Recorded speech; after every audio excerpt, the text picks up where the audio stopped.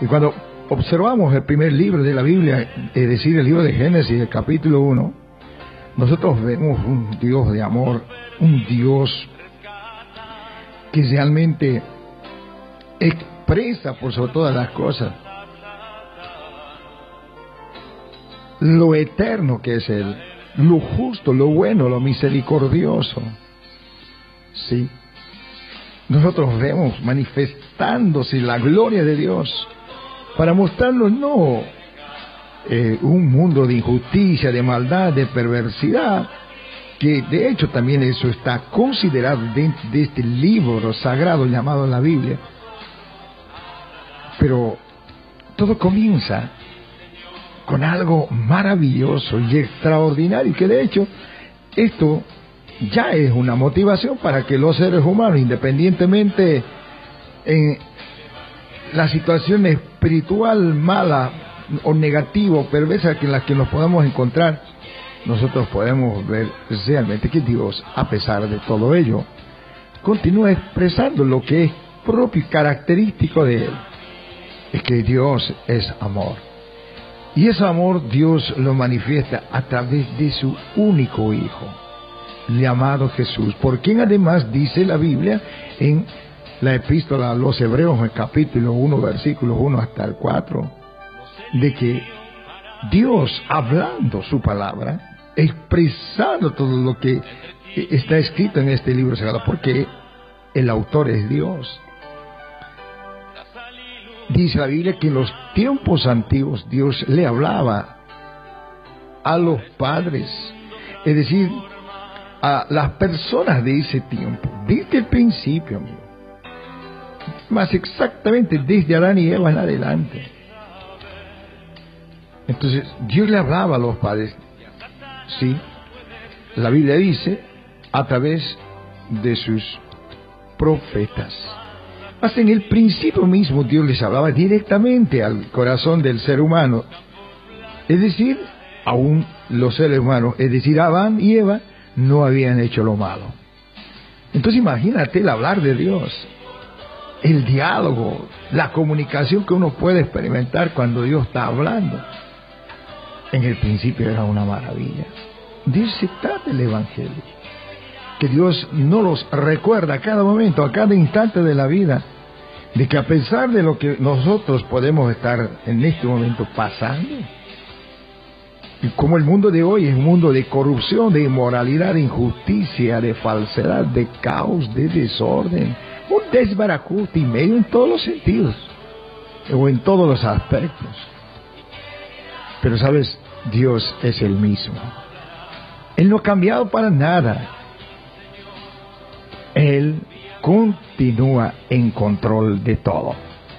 Amigo, ese es este Santo Evangelio, la noticia de Dios, que a pesar de nosotros ser pecadores, sí, duros de corazón, incrédulos, idólatras, hoy en estos días realmente la idolatría está tan fuerte que a pesar de ello, Dios continúa hablando ese es el Evangelio, mi amigo.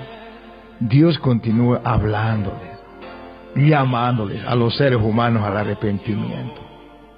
La Biblia dice, aquí yo estoy a la puerta y llamo.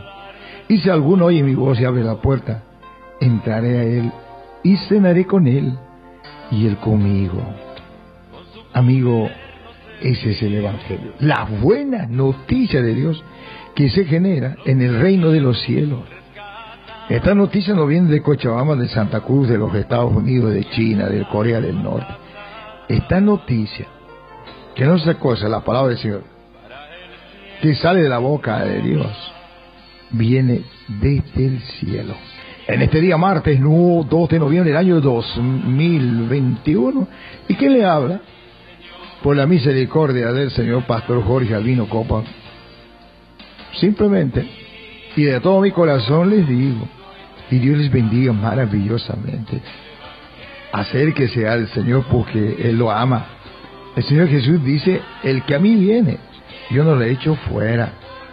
Amigos, queremos en esta mañana transmitirte en nombre de Jesús una palabra de ánimo, de consolación, de fortaleza y de edificación para tu vida espiritual en nombre de Jesús. Entonces, mi amigo, la Biblia dice que en estos tiempos postreros, tiempos actuales, en pleno mes de noviembre, este ya es el penúltimo mes de este año de 2021, y en pleno siglo XXI, mi amigo, Dios continúa hablándonos. Pero esta vez no a través y por medio de sus santos profetas, sino por medio y a través de su Hijo Jesucristo de Nazaret. Y dice la Escritura, a quien asimismo constituyó heredero de todo, el único heredero de todo, se llama Jesús, y por quien asimismo hizo el universo entero. Usted puede imaginarse, mi amigo, por qué causa Dios hizo el universo. Lo hizo por causa de su Hijo.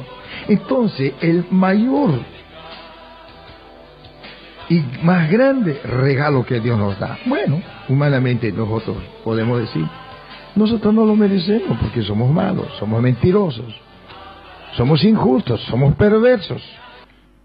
Y no merecemos que Dios, que es un Dios justo, Dios bueno, misericordioso, pueda darnos, a pesar de lo que nosotros somos, un regalo, pues este sería una, un absurdo muy grande. Que alguien pueda, ¿cómo se diría de otra manera? Recompensarnos siendo malos, siendo perversos. Pero ese es ese Dios. Que dice la Biblia más Porque de tal manera amó Dios al mundo que ha dado a su Hijo unigénito, para que todo aquel que en él cree no se pierda, mas tenga vida eterna. Amigo, en esta mañana queremos, en nombre de Jesús, expresarte un saludo de bendición. Si estás en sintonía del arreglo en este momento, tal vez estás afligido, tal vez estás enfermo, sí. Tal vez tú estás pasando momentos difíciles en tu vida espiritual. Mas yo quiero decirte, mi amigo, que lo que para el hombre es imposible está escrito en la Biblia, para Dios todo lo es posible. Acércate a Él, amigo, porque Dios tiene aquello que tú necesitas. Y queremos disfrutar de estos minutos, un día muy especial para el mundo católico. ¿sí? Hoy la gente tiene por costumbre y por tradición visitar los cementerios. En fin, ¿no? Pero más nosotros, según las promesas del Señor, sabemos que los creyentes que ya partieron, sí, están en un lugar durmiendo. Porque Jesús viene, esto será durante su segunda venida y durante el arrebatamiento de la iglesia para que se cumpla una gran promesa, que los muertos en Cristo resucitarán primero. Entonces con razón el apóstol Pablo me mencionó y diciendo en el poder del Espíritu Santo, porque para mí el vivir es Cristo y el morir es ganancia. Así que mi amigo, mi hermano, en nombre de Jesús, en esta mañana, bueno, les damos la más cordial bienvenida al programa del día de hoy y así juntos aprovechemos bien el tiempo porque los días son demasiado malos. Así que mi amigo, en nombre de Jesús, le invitamos muy cordialmente para poder participar con nosotros de estos servicios de culto que la Iglesia Asamblea de Dios Boliviana viene desarrollando allá en la población de Ibirgarzama. Y a continuación le, le, comparto en este día especial, ¿no? Día feriado a nivel nacional. Sí, así también el programa Mensaje de Salvación está también acompañando, por supuesto, para compartir una palabra de fe, de esperanza y de amor para todos los que están en sintonía de la radio Renovación FM 93.1 que se transmite directamente desde la población del Valle Exacta para todo el mundo en general. La palabra del Señor está escrita en el libro de la Epístola a los Hebreos en el capítulo 9, versículo 23 hasta el 28. Aquí está la lectura bíblica del día.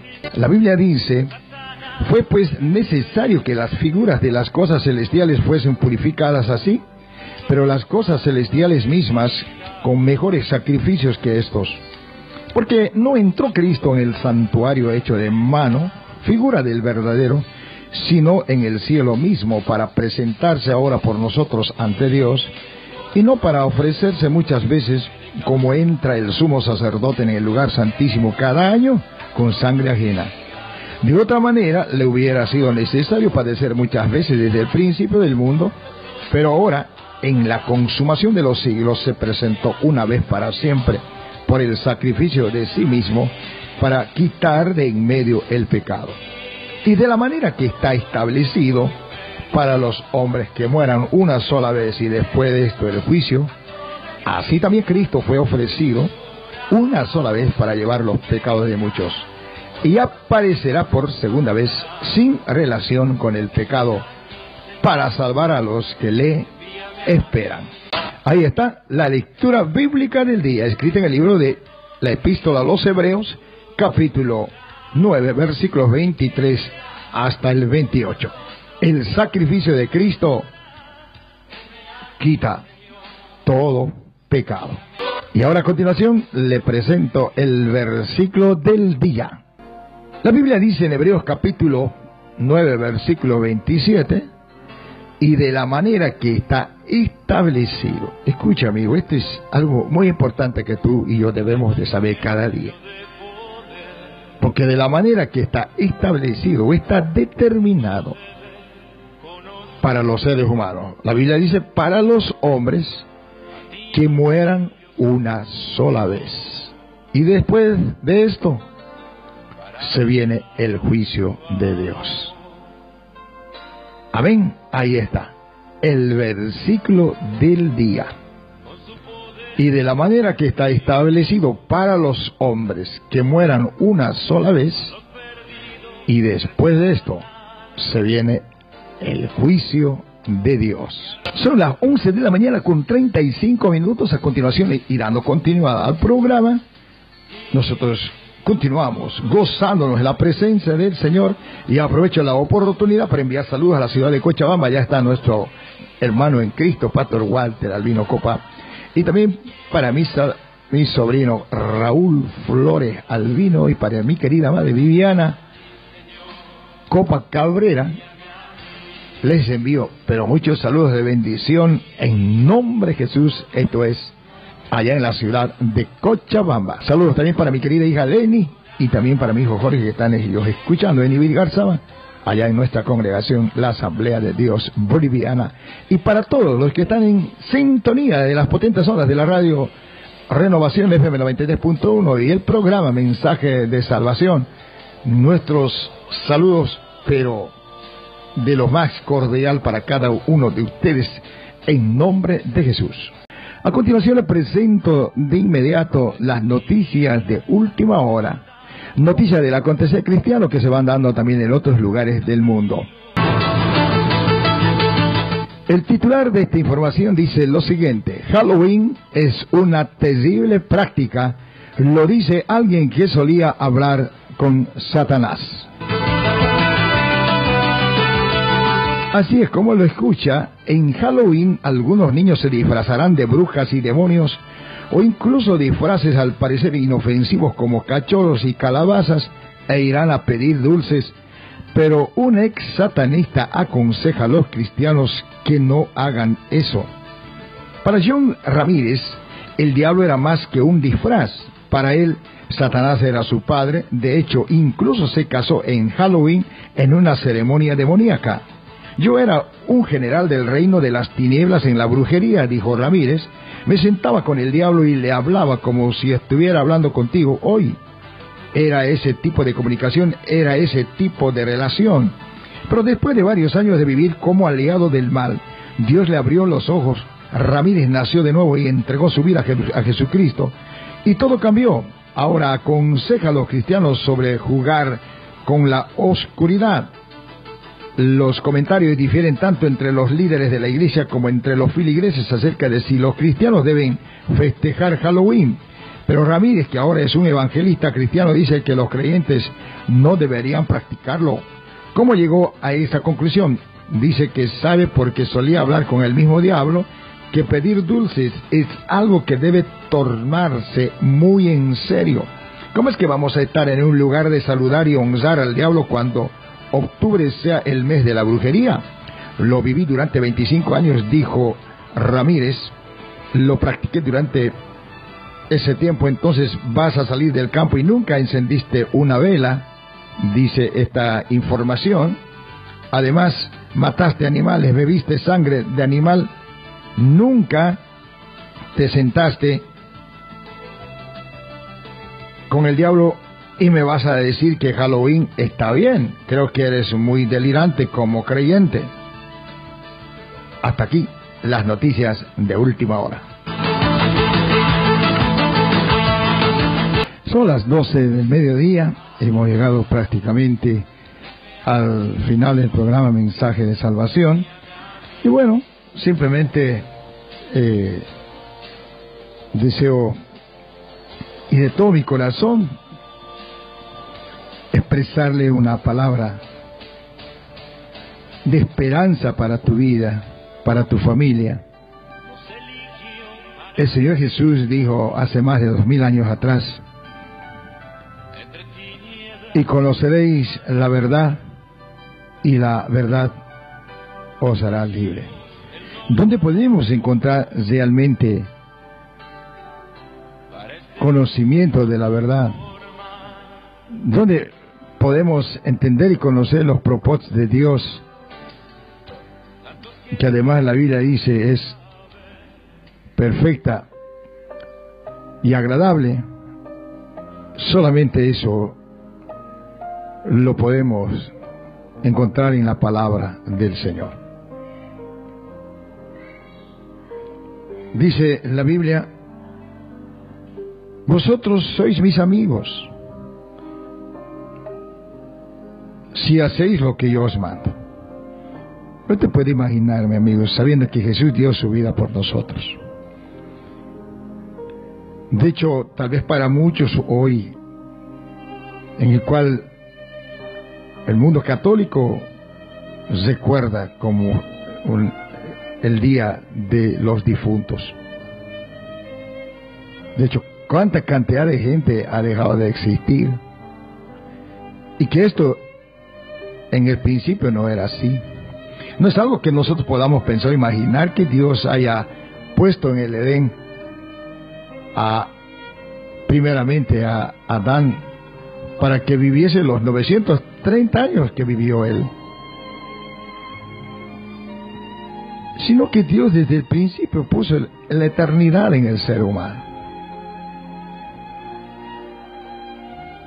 No para que viviese como vivió el hombre más considerado, el más longevo, el hombre que más años vivió que todos los demás, Matusalén, 969 años por la cantidad de años que estos hombres, los primeros seres humanos que vivieron, nosotros podemos fácilmente darnos cuenta de que Dios creó al ser humano a imagen y semejanza de él.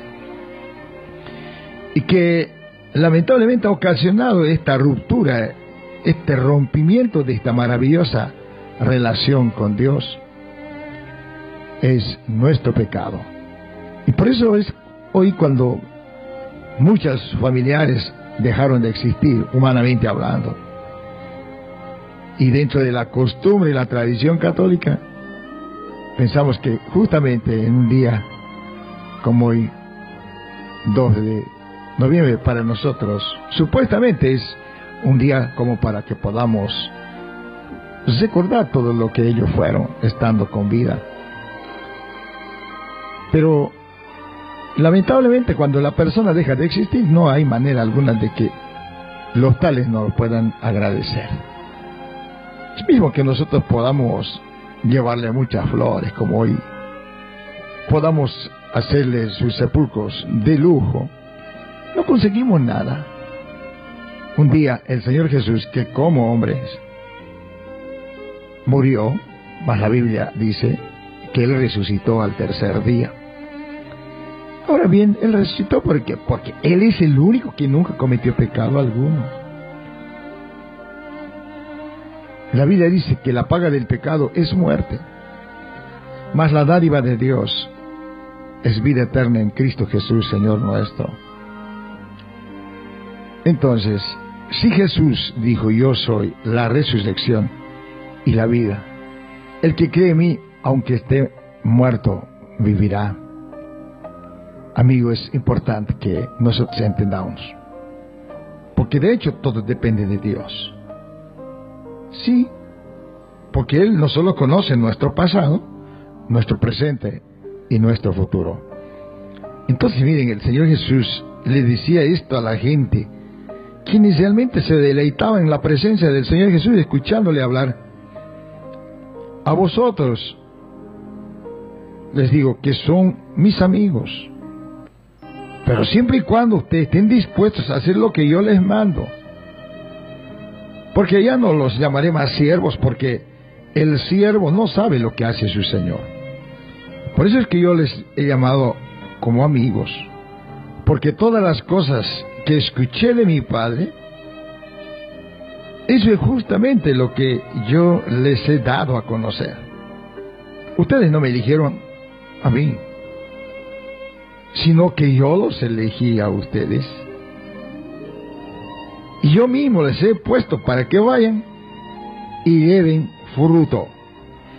Y que vuestro fruto permanezca para que todo lo que pidieren al Padre en mi nombre, Él os lo dé.